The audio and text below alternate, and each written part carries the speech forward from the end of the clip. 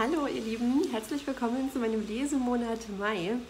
Es ist unglaublich, wie schnell das Jahr vergeht und heute ist es auch vom Wetter her eigentlich eher so wie November. ähm, ich hoffe, mit dem künstlichen Licht geht's. Wir haben hier tatsächlich eine Unwetterwarnung für unsere Region. Es regnet auch schon die ganze Zeit, Hochwasser wird erwartet und dementsprechend dunkel ist es. Ich möchte aber gerne ähm, die Zeit nutzen, die ich heute noch habe, um euch meinen Lesemonat zu präsentieren. Ich bin nämlich bald im Urlaub. Also ich denke, wenn das Video hochkommt, dann sind wir wahrscheinlich schon mit Zelt und Hunden wieder unterwegs. ähm, aber erstmal möchte ich über diese vier Printbücher und über ein Hörbuch mit euch sprechen.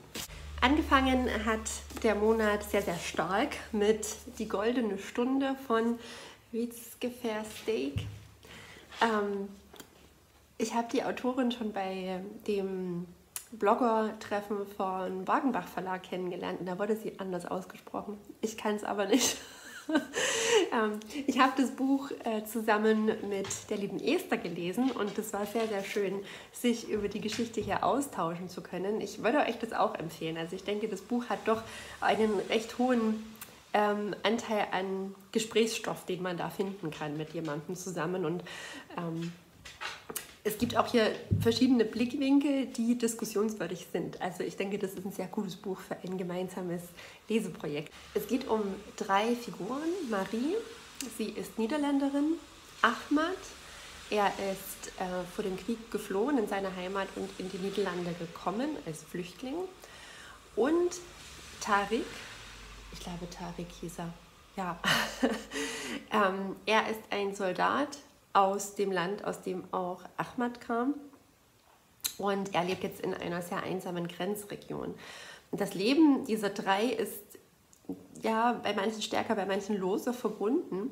Marie ist nämlich Sozialarbeiterin und sie betreut ein Projekt in einer Kleingartensiedlung es gibt da quasi eine Anlaufstelle, einen Schrebergarten, der zusammen mit den Geflohenen dort ja, hergerichtet werden soll und der halt einfach auch so ein bisschen eine Oase der Ruhe sein soll für die Menschen. Ähm, und ihre Sicht ist eine problematische in dem Buch. Wir bekommen aber auch mit, wie die anderen Schrebergärtner auf dieses Fremde erstmal reagieren. Ähm, das Projekt scheitert. Das passiert relativ schnell. Also das ist kein Spoiler, das wissen wir eigentlich von Anfang an. Das Projekt scheitert. Marie hat aber aus ihrer Position heraus, und das finde ich am problematischsten, also sie hat einen ganz, andere, einen ganz anderen Machtstatus als Ahmad, eine Beziehung mit ihm angefangen. Und er hat auch ganz andere Gründe, warum er das gemacht hat. Ähm, sie ist quasi ja seine Sozialarbeiterin und sie ist auch deutlich älter. Ahmad verschwindet irgendwann. Marie weiß nicht so richtig, was passiert ist. Es gibt einen Brief, den er hinterlässt, allerdings in seiner Sprache, deren Marie nicht mächtig ist. Also sie hat sie auch nicht, ähm, sie hat, glaube ich, mal so ein paar Worte versucht zu lernen, aber bei ihr merkt man auch, dass sie das Fremde, das ihr Fremde auch eigentlich auf Abstand halten möchte. Wir bekommen hier also ganz viele Probleme einfach der Geflohenen mit, wie Integration erschwert wird durch diese starren Strukturen, die einfach in den Köpfen der Europäer da sind und ähm, ja, welche Anforderungen wir an die Menschen haben, die schwer traumatisiert aus ihrem Land, aus dem sie ja eigentlich gar nicht weg wollten, hierher kommen. Es ist ja aber nicht so, dass die sich das ausgesucht haben, sondern sie fliehen vor einer ganz realen, schrecklichen Bedrohung. Ähm, Marie versucht dann irgendwie mit diesem Kapitel ja, das für sich aufzuarbeiten und möchte in äh, die Region reisen, aus der Ahmad kommt und trifft dann dort auf Tarik.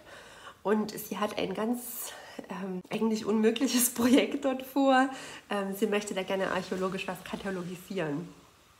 Tariks Geschichte finde ich auch extrem interessant. Das ist quasi der Gegenpol, aber ähm, auch hier begegnen sich Marie und Tarek in einer Weise, also sie begegnen sich nicht richtig. Ne? Es ist nur so sehr oberflächlich, wie auch äh, diese Begegnung mit den Geflohenen war. Also ein, ein Buch, das ich ganz, ganz, ganz toll fand. ähm, das Einzige war das Ende. Da hätte ich mir das Ende noch so ein bisschen anders gewünscht. Ähm, da gab es so eine Szene, die hätte für mich nicht sein müssen, die das aber noch ein bisschen dramatischer einfach gemacht hat. Und deswegen habe ich dann so zwischen vier und fünf Sternen geschwankt. Sonst wäre es definitiv ein Fünf-Sterne-Buch gewesen. Und noch als kurze Anmerkung, übersetzt aus dem Niederländischen wurde dieses Buch von Christiane Burkhardt. Und danach las ich oder beendete ich ein sehr dickes Buch, denn gelesen habe ich das schon länger, aber in diesem Monat habe ich es beendet.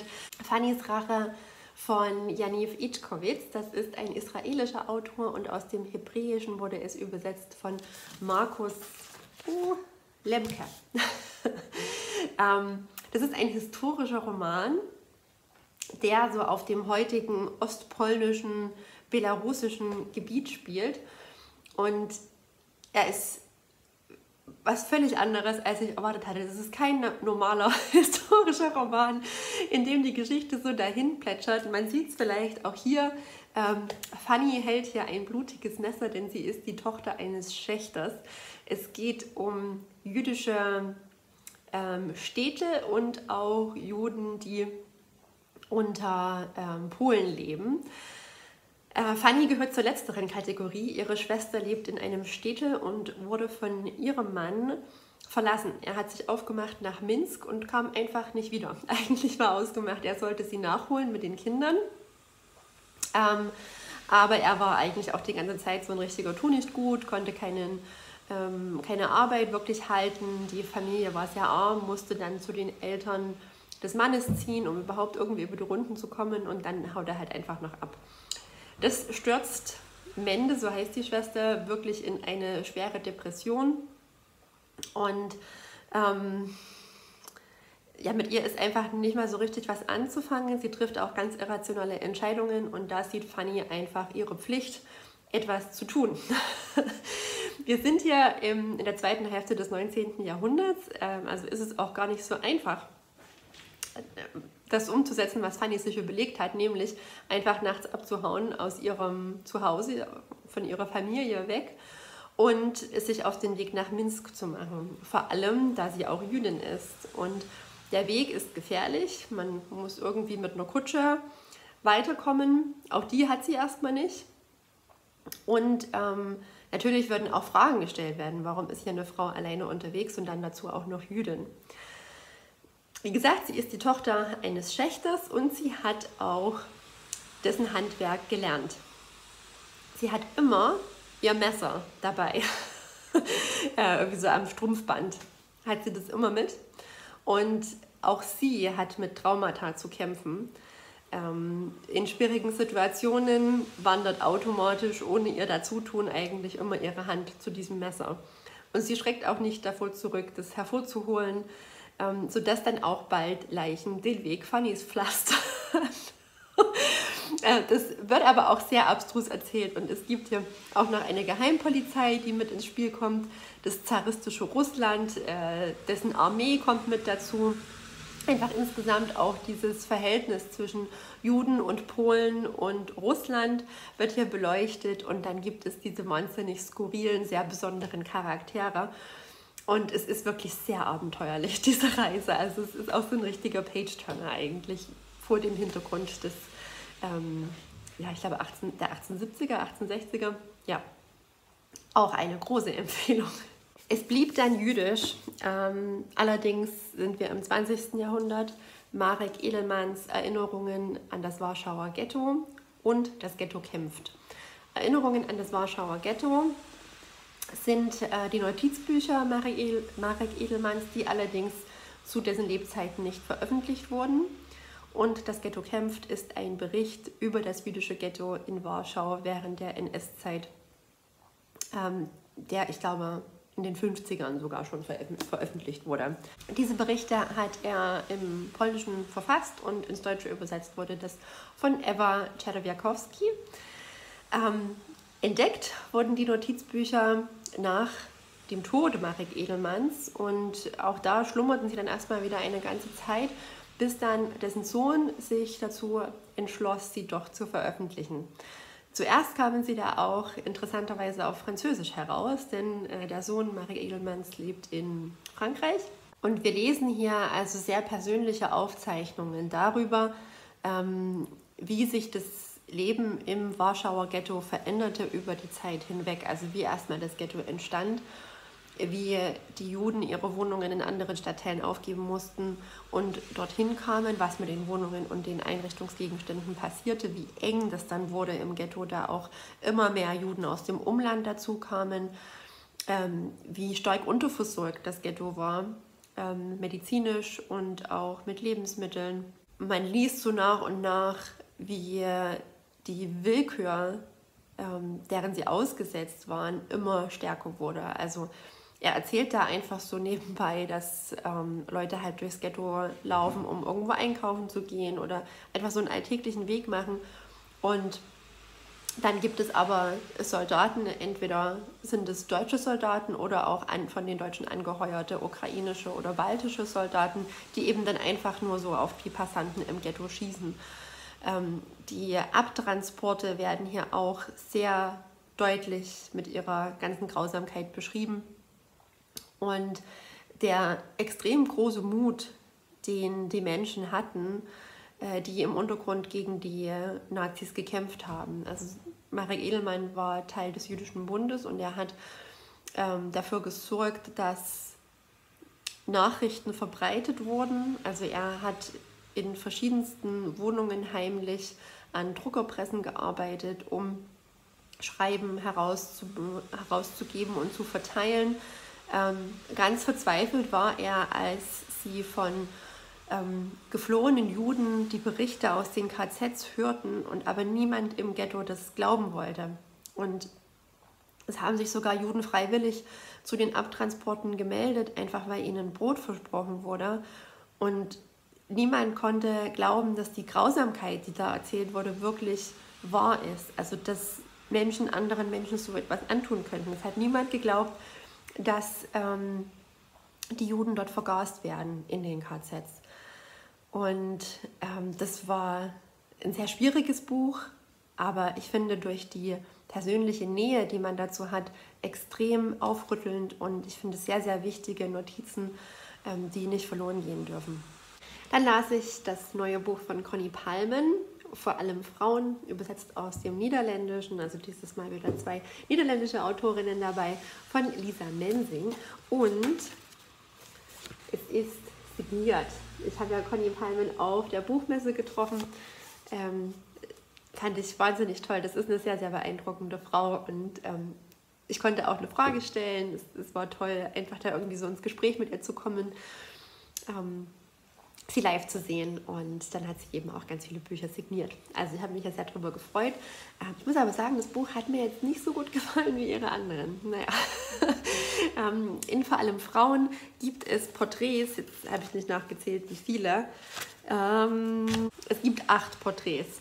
Sieben sind weiblich und ein männlicher Autor ähm, ist ja auch noch mit versammelt im Buch. Und allen Personen hat sie ein Adjektiv zugeordnet, das auch sie selbst in ihrem Leben irgendwie beschreibt. Also zum Beispiel Virginia Woolf, das Kapitel heißt autonom. Oder Sylvia Plath, wahrhaftig. Ähm, dann gibt es noch ganz andere Adjektive und sie reflektiert dann ihr Verhältnis zu dieser Person, zu dieser Autorin im, im meisten Fall. ähm, und wie sie sich selbst sieht als Autorin, als Mensch. Manches Mal war das für mich ähm, allerdings eher wie eine Art Notiz zu dem Werk der jeweiligen Autorin, ähm, einfach eine, eine Sichtweise auf die Lektüre der Bücher oder der Texte von äh, dieser Person. Und ich fand, da hat noch irgendwie so ein bisschen was gefehlt. Also ähm, mir war es an mancher Stelle einfach zu wenig Content und manches Mal ein bisschen zu viel Rezension. Manche Kapitel haben mich mehr angesprochen als andere, so im Großen und Ganzen ein Buch aus dem Mittelfeld, würde ich sagen. Also wahrscheinlich so um die drei Sterne würde ich dem Buch geben.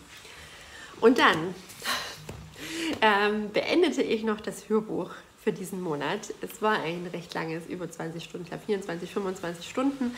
Ein Buch, das viele auf YouTube schon gelesen oder gehört haben. äh, das sehr kontrovers diskutiert wurde, das aber auch extrem gehypt wurde. äh, Fourth Wing von Rebecca Yaros. Ähm, ich dachte eigentlich, das geht an mir vorbei, aber als wir auf der Buchmesse waren, haben wir da nochmal so drüber gesprochen. Also einen schönen Gruß an Sarah von Bookmarkt. äh, wie fesselnd denn auch das Buch ist. Und dann dachte ich, naja, ich probiere es halt doch mal. Und so habe ich zum Hörbuch gegriffen. Es geht hier, äh, ich fasse das nur mal ganz kurz zusammen, falls es doch noch jemanden gibt, der das noch nicht gehört hat. Es geht um eine Fantasy-Welt, um eine Jugendliche, ich glaube 17 oder irgendwie so ist sie. Ähm, sie ähm, wird zu ihrer Ausbildung geschickt und die Ausbildung in, diesem, in dieser Welt läuft so, dass alle zentral in eine Art großem Internat unterrichtet werden und es gibt in diesem Internat verschiedene Quadranten. Es gibt Schreiber, es gibt Heiler. Ja, die Schreiber führen so das Archiv Heiler ne, sind die Mediziner der Welt und es gibt Reiter. Und eigentlich wurde sie ihr Leben lang vorbereitet, in den Schreiterquadranten, äh, Schreiter, Schreiberquadranten zu kommen. Ähm, ihr Vater war auch ein solcher. Sie liebt Literatur und Bücher und äh, fühlt sich im Archiv am wohlsten. Dann stirbt ihr Vater und ihre Mutter, die eine Reiterin ist und da auch sehr viel zu sagen hat in der Welt, ähm, entscheidet, sie muss auch in den Reiterquadranten.